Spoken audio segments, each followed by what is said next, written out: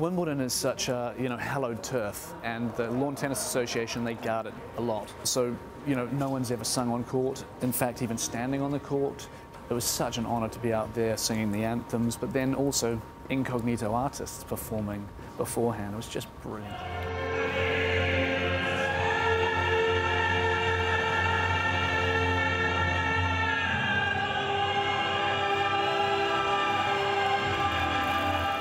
We seem to be the entertainment company of choice at the moment. I mean, it's, it's amazing. We've done the FA Cup final, the Champions League finals. We've even done a couple of things for the Bledisloe Cup down in New Zealand.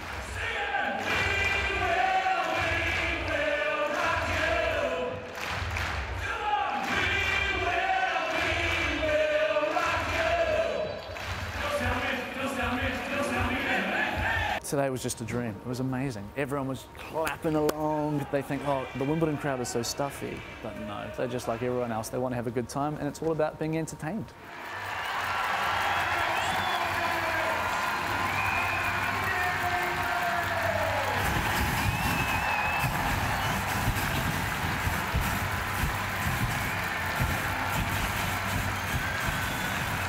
Well, we went on to sing the Austrian national anthem and the Great British national anthem.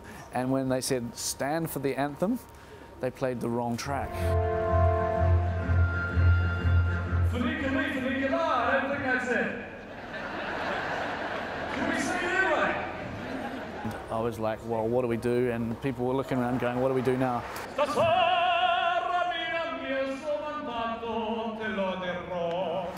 So I sang an impromptu Funiculi Funicula whilst they re-cued the track and sorted it out. We saved the day apparently.